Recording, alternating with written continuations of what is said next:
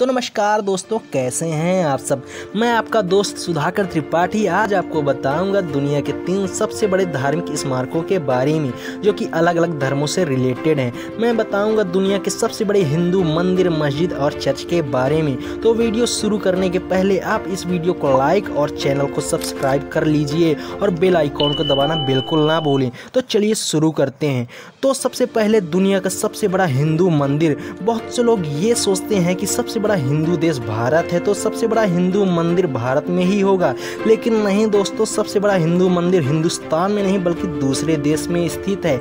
दुनिया के सबसे बड़े हिंदू मंदिर का नाम अंकोर वाट है, और यह कम्बोडिया देश में स्थित है, और यह 402 एकड़ के क्षेत्रफल में फैला हुआ है। कम्बोडिया जो कि एक हिंदू राष्ट्र नहीं है, यह मंदिर खमेर राजा सूर्यवर्मन द्वितीय द्वारा बारहवीं शताब्दी में बनवाया गया था, और यह भगवान विष्णु को समर्पित है। तो अब बात दुनिया की सबसे बड़ी मस्जिद के बारे में। अल फतह मस्जिद को दुनिया की सबसे बड़ी मस्जिद में गिना जाता है और यह मस्जिद बहरीन देश में स्थित है। मस्जिद का क्षेत्रफल 6,500 स्क्वायर मीटर में फैला हुआ है। मस्जिद का निर्माण उन्नीस सौ सतासी में शेख सलमान अल खलीफा ने करवाया था।